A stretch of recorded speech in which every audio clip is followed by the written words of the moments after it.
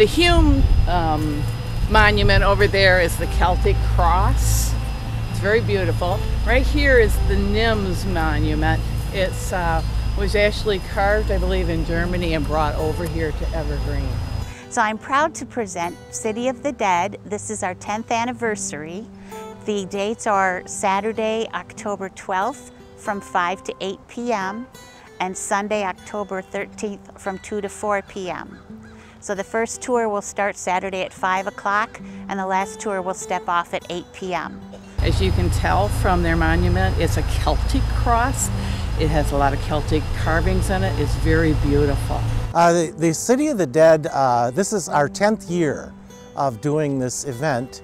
Uh, it is a respectful telling of the stories of the uh, men and women who helped make Muskegon what it is today.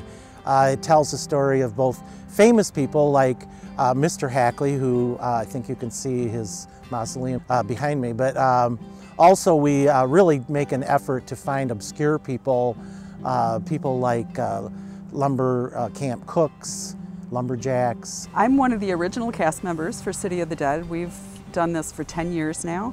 And um, the character I'm playing this year is Nelski Virkman Wagenmacher, who is buried in Potter's Field.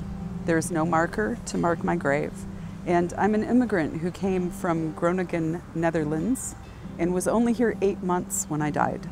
Um, this is the first year that we are playing Alberta, and it was a nice uh, runoff. Uh, the casket maker daughter with the immigrant that uh, probably ended up using one of those caskets to, to learn about the history of Muskegon. Fred is probably not as well known as a lot of the uh, uh, people that are in the cemetery, but he had he did a lot uh, through. He was considered an industrialist and a financier. He had uh, Flanders Financial Company in the area and uh, helped with a lot of businesses in the area at the time. He had purchased property. He was one that uh, was not hit as hard by during the Depression uh, was able to um, help people that I think quietly. He wasn't the type that you see his name on things, but he, uh, as I say, he did help with the, um, you know, the employment situation back in the early 50s.